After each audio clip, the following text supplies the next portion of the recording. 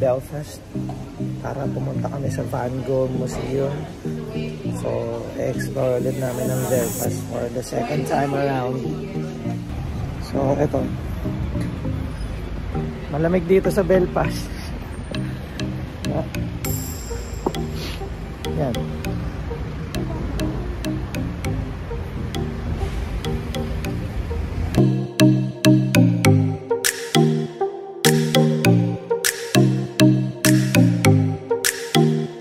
Ito yung glider na tinatawag dito. Ito. Ayan. Yan po ang glider. So para siyang bus na trailer. Ganun ang itsura niya. Yan. Glider kung tawagin.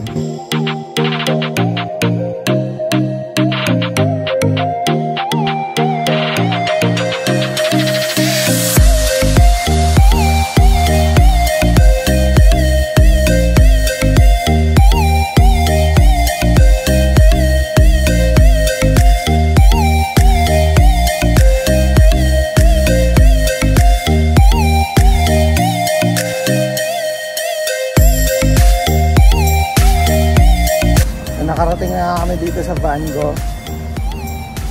23 minutes sa lakaran. Ayan siya, Van Gogh.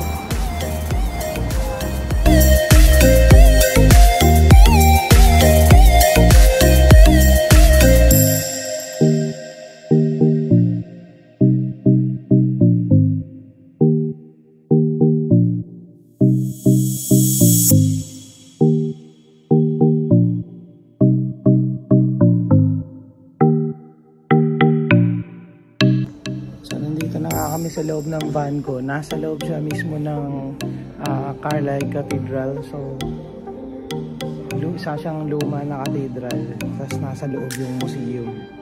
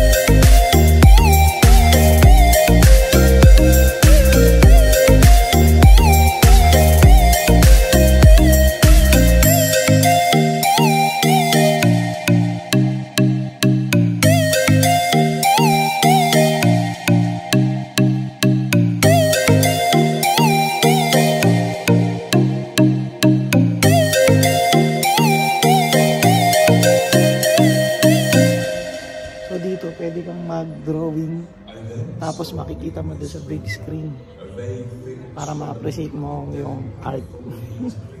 so nandito kami sa VR room. Thank you. Pwede kang gumamit ng VR for 3 pounds. So parang parang namamasyal ka para kang ikaw si Van Gogh. Ganun. So tapos na nga kami dito sa Van Gogh exhibit. Ayan siya yung cathedral. Car Carly Carlisle Cathedral. Ayan. Diyan siya. So, mamasyal pa kami. Yan namin kung ano pang makikita namin.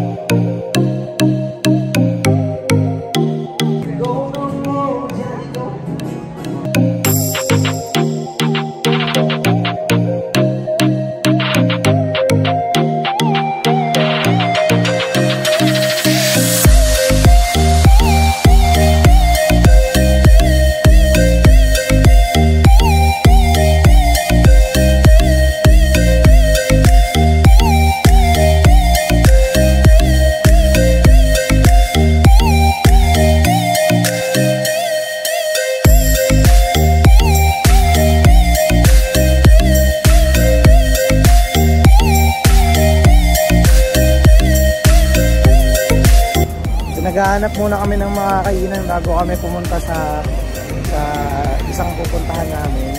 So balak namin pumunta ng Botanical Gardens. So gutom na kami.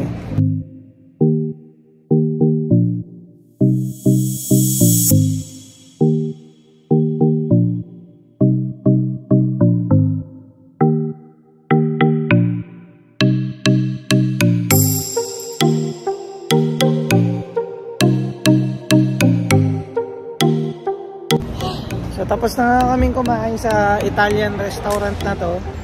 Yes, the best. Yes, the best. I mean, the food is amazing. Ay. Now we're going to the Botanical Garden here in Belfast. Arat.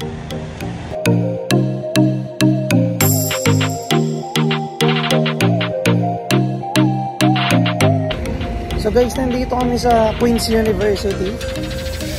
Mga...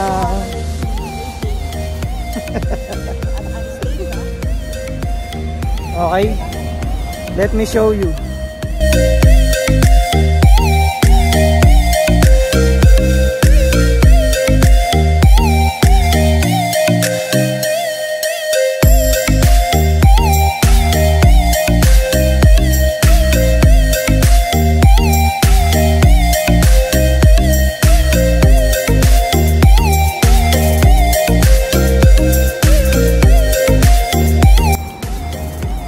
Nandito na nga kami sa Botanical Garden.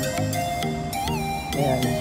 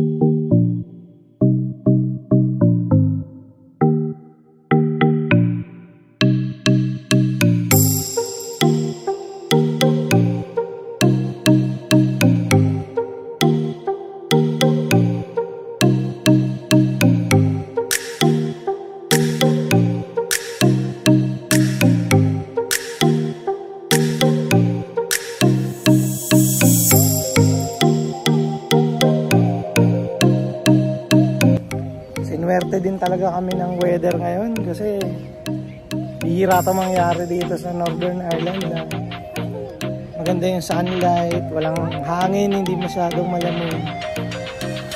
Yan, kaya lahat ng mga puti, kanya-kanya sila ng mga best clothes. Yan, ice cream sila, oh, ice cream.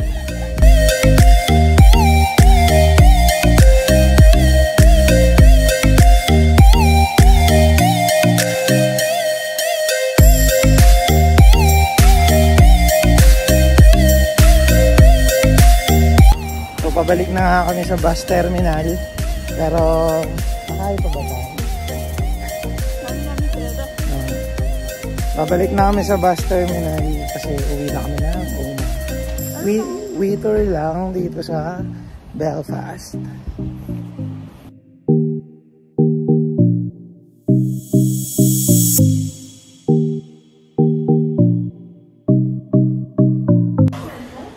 So, dito na kami sa bus terminal. Kami tutungo na sa Oma. Uwian na and back to work again tomorrow. Bye.